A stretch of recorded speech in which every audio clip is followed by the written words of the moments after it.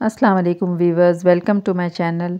आज मैं आपके साथ बहुत ही मज़ेदार मुल्तानी कड़क सोहन हलवे की परफेक्ट रेसिपी शेयर करूँगी, जो बनाने में बहुत आसान है। अगर थोड़ी सी तैयारी हम पहले कर लें तो सिर्फ़ पाँच मिनट में हलवा रेडी हो जाता है और नहायत मज़ेदार बनता है। कमर्शियल लेवल पर जब सोहन हलवा रेडी किया जाता है तो उसमें समनक का इस्तेमाल किया जाता है। मगर चूँकि समनक हर जगह अवेलेबल नहीं होती तो इसे आज हम बगैर समनक के सिर्फ़ घर की कुछ चीज़ों के साथ रेडी करेंगे। तो चलें अपनी रेसिपी स्टार्ट करते हैं। तो यहाँ इसके लिए सबसे पहले एक बोल में मैंने सिक्स टेबल स्पून मैदा ले लिया है। और इसके बाद हम इसमें ऐड करेंगे four tablespoon milk powder इन दोनों चीज़ों को हमें अच्छी तरह से मिक्स कर लेना है। अगर आपको इलायची का फ्लेवर पसंद है तो इसी स्टेज पर इस पर आप थोड़ा सा इलायची पाउडर भी मिक्स कर लें। तो यहाँ हलवे को सेट करने के लिए मैंने कुछ स्टील की कटोरियाँ ले ली हैं। जो कि हर घर में इजीली अवेलेबल होती हैं और कुछ डिस्पोजेबल पेपर कप्स ले लिए हैं। प्लास्टिक के डिस्पोजेबल कप्स हम यहाँ यूज़ नहीं कर सकते हैं इस हलवे को सेट करने के लिए। इसके अलावा आप चाहें तो कुकी कटर या कप केक्स के जो मोल्ड्स आते हैं, उनमें भी आप ये हलवा सेट कर सकते हैं। तो जिस भी मोल्ड में आप सेट करें, उसे हमें ऑयल से अच्छी तरह से ग्रीस कर लेना है। ख़ासकर पेपर कप्स पे हमें अच्छी तरह से ऑयलिंग करनी है, ताकि हलवा इसमें चिपके ना और जब सेट हो जाए तो हम इजीली उसे निकाल सकें। इसके बाद यहाँ मैंने कुछ नट्स ले लिए हैं, जिनमें बादाम और काजू हैं और कुछ यहाँ मैंने पिस्ते कट कर लिए हैं।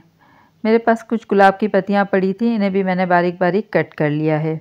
तो सबसे पहले जिस भी चीज़ में हमें हलवा सेट करना होगा, उसके बॉटम में हम ये ड्राई फ्रूट्स सेट कर लेंगे। ज़रूरी नहीं कि ये सारे ड्राई फ्रूट्स आप यूज़ करें, जो भी आपके पास अवेलेबल हो, आप वो यूज़ कर लें। मगर इस तरह नट्स के साथ जब हम हलवा सेट करते हैं तो देखने में भी बहुत अच्छा लगता है और बहुत टेम्पटिंग लगता है।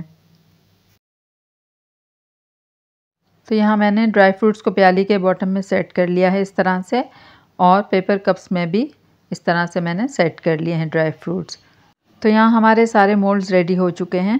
तो चलें अपने अगले स्टेप की तरफ़ बढ़ते हैं।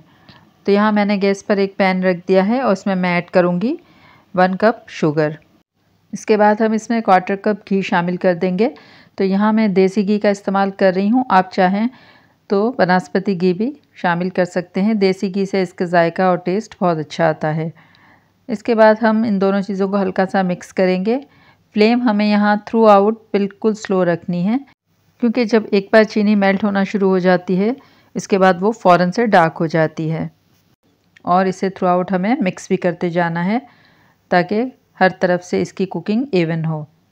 जब चीनी कम्प्लीटली मेल्ट हो जाए, इसके सारे लम्ब ख़त्म हो जाए और इसमें हल्का सा गोल्डन कलर आए, इस स्टेज पर हमें फ्लेम को ऑफ़ कर देना है। क्योंकि पैन बहुत गर्म है और चीनी बहुत गर्म होती है तो वो और थोड़ी डार्क हो जाती है।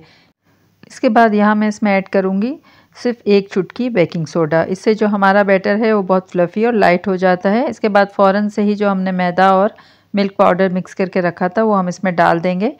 यहाँ हमें बहुत तेज़ी से हाथ चलाते हुए इन सब चीज़ों को अच्छी तरह से मिक्स करना है, क्योंकि चीनी फ़ौरन ही सेट होने लगती है। जैसे ही ये सब चीज़ें अच्छी तरह से मिक्स हो जाए, हमें इस हलवे के बैटर को मोल्ड में डाल देना है, वरना हलवे का कलर डार्क होने लगता है, क्योंकि पैन हमारा बहुत गर्म है।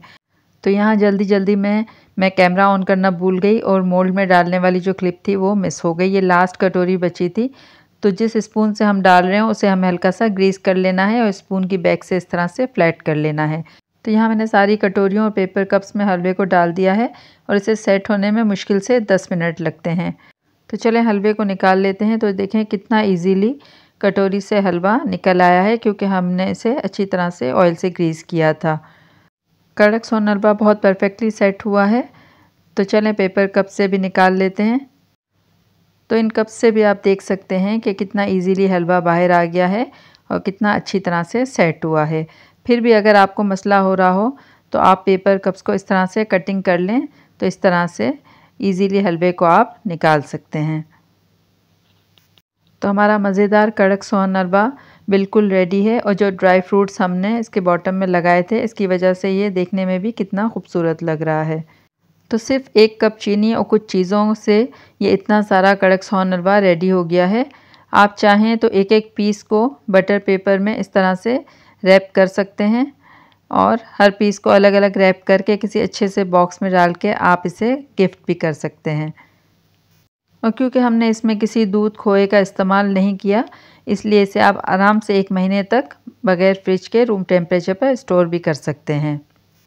और आजकल चूँकि मौसम भी थोड़ा चेंज हो रहा है तो ये काफ़ी दिनों तक इसी तरह से फ्रेश और कड़क रहेगा।